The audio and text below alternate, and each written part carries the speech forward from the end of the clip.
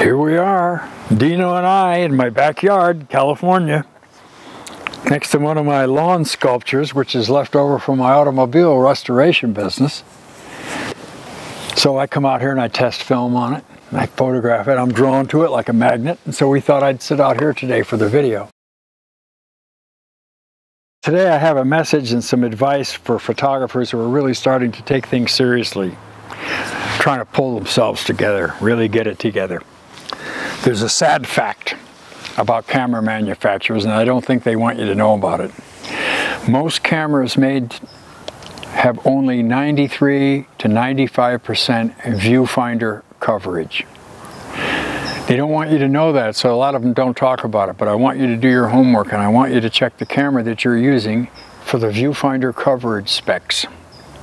You see, if you use a camera that has 93 or 94% viewfinder coverage, that means you're going to get 6% more in the negative and in the picture than you want. You don't want 6% more. When I frame a picture, I want it to be exactly. If I want to cut off half of that leaf, I can do it with my 100% Nikon F3. There's no surprises later. What I see in the viewfinder is exactly what I'm going to get in the negative, and that's good. I don't want any surprises. Now I know that doesn't sound so bad because you think you can crop it off, but it's very bad. What this camera is doing is it's messing with your brain. It's driving you crazy and you don't even realize it.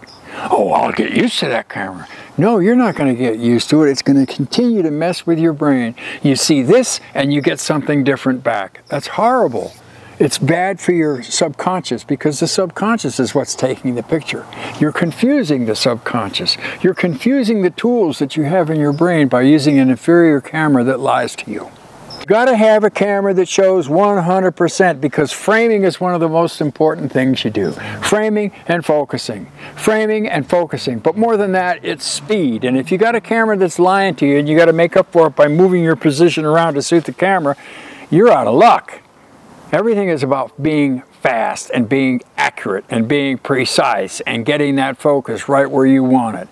Get the Nikon F, the Nikon F3, or do your homework and find other cameras that will show you 100% viewfinder coverage. We've got to dial ourselves in with the proper equipment.